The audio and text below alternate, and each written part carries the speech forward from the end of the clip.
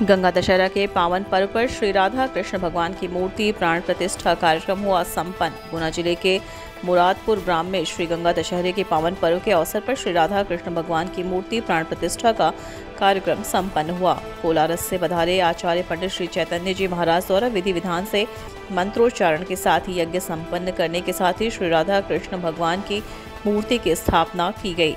भगवान श्री राधा कृष्ण की मनमोहक मूर्ति राजस्थान के मकराना से लाई गई है। इस विशाल कार्यक्रम में समस्त ग्रामवासियों व आम जन का सहयोग महत्वपूर्ण रहा है। मूर्ति स्थापना कार्यक्रम से गुना सहित ज़िले भर से बड़ी संख्या में महिलाएँ पुरुष पधारे जिन्होंने वैदिक मंत्रों के साथ हवन में आहुतियाँ देकर धर्म लाभ लिया। इस धार्मिक आयोजन से क्षेत्रवासियों में उत्साह का वातावरण देखने को मिला।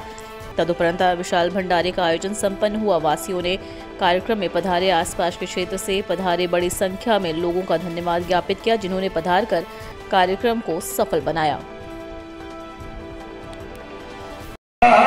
ओम त्रिशूलाय